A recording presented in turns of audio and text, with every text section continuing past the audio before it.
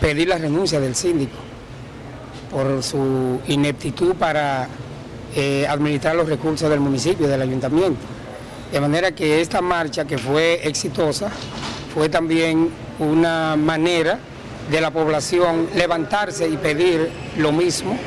para que el síndico recapacite y entonces tome la decisión que más conviene, que en este caso la forma más honorable es que él renuncie, porque en la forma que él está, está administrando el municipio realmente está haciendo mucho daño.